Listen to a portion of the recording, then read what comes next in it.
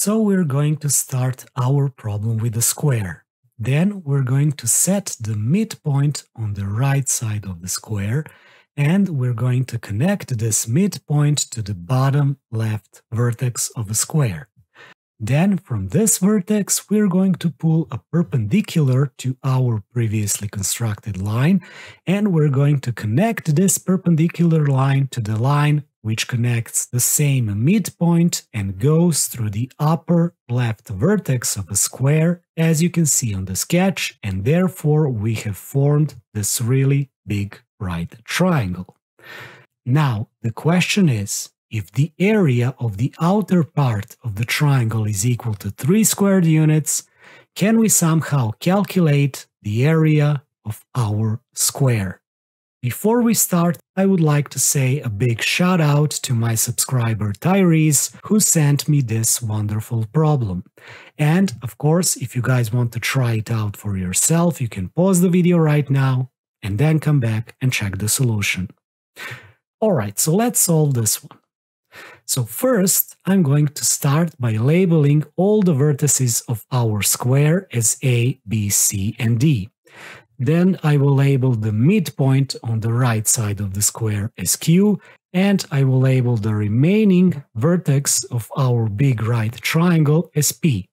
Now let's pull a vertical line from point Q to the left side of the square and let's label this intersection as O. Now let's notice the right angled triangle ABQ. Let's label two acute angles of this triangle as alpha and beta.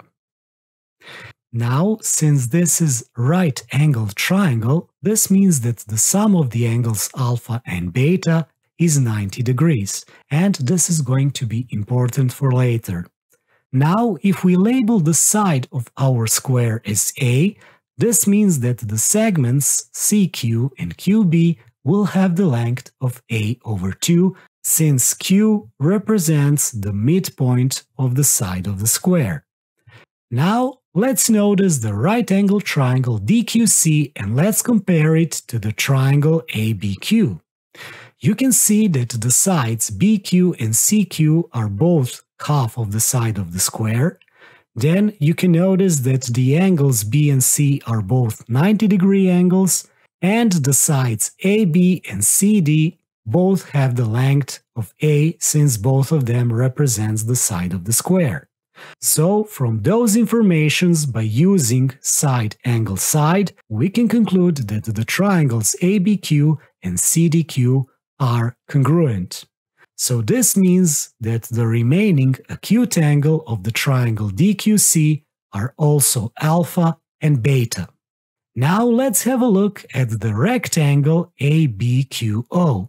You can see that the hypotenuse AQ of this triangle represents the diagonal of this rectangle.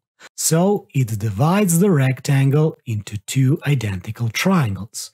So we can just rotate our triangle ABQ and we will get the congruent triangle with the same angles of alpha and beta. Now notice the right angle at the point A. It consists out of angle beta and since we know that the sum of the angles alpha and beta is 90 degrees, this means that the remaining acute angle PAD must be equal to alpha. Alright, so now let's extend the side AD of our square vertically up and let's pull a perpendicular which connects this line to the point P.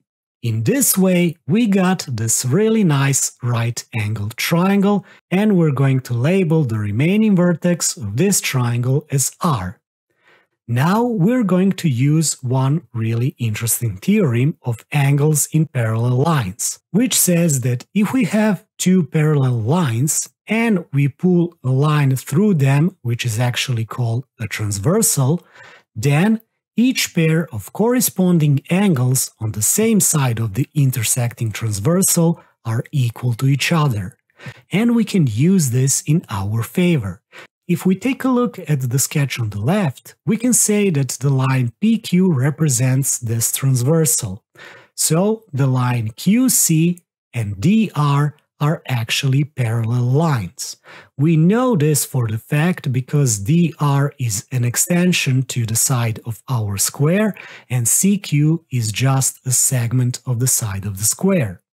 So this means that the acute angle at the point D must be the same as the acute angle at the point Q and it must have the value of beta.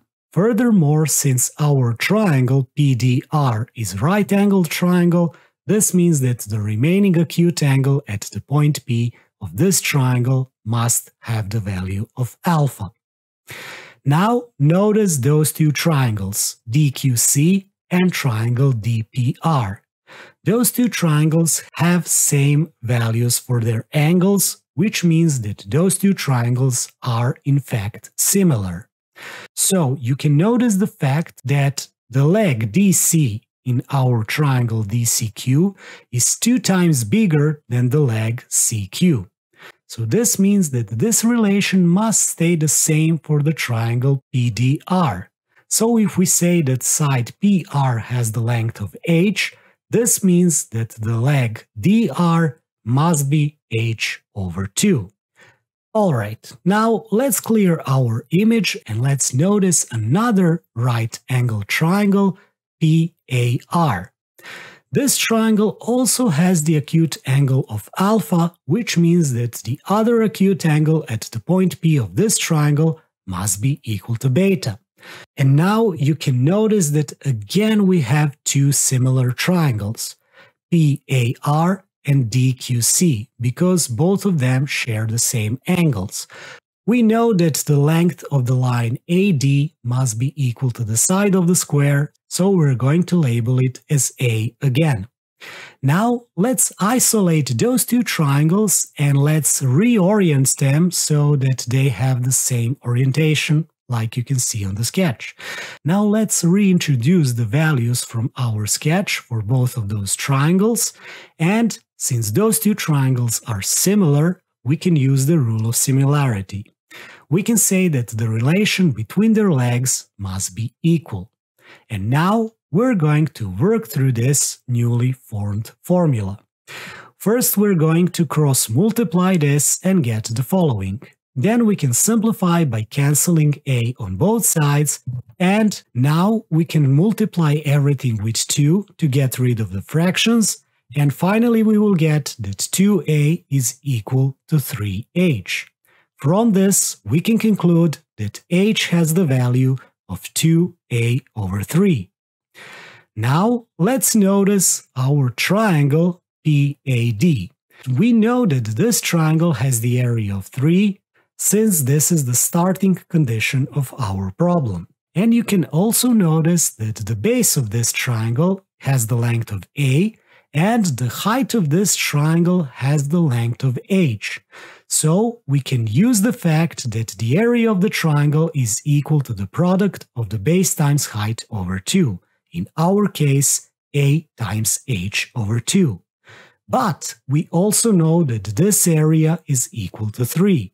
Now we can multiply this equation with 2 to get rid of the fraction, and then we will substitute the value of h, which we got earlier, into this equation. Now we will just keep on simplifying, this time by multiplying everything with 3, and we will get the following. From this, we can conclude that a squared is equal to 9. But remember, we're looking for the area of our red square with the side of a, and the area of the square must be a squared. So we're just going to substitute the value of a squared, and we will get that the area of our red square is equal to 9 squared units, and this is our solution. Well, I really hope you guys enjoyed this interesting problem. If you did, please do not hesitate to leave a like or subscribe to the channel for more content like this. Of course, if you found another way to solve this problem, please write it down in the comment section below. And until next time, see you all and take care.